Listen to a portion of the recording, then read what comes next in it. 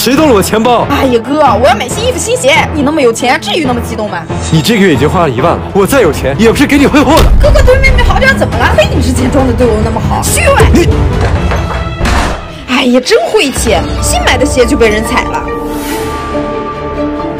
小夏，这是我的牙刷，你干嘛？我是你妹妹，用你牙刷怎么了？你现在怎么变成这个样子了？你回来！小夏，来吃个猕猴桃猕。猴桃里面怎么有籽？我从来就不吃有籽的猕猴桃，你给我挑出来。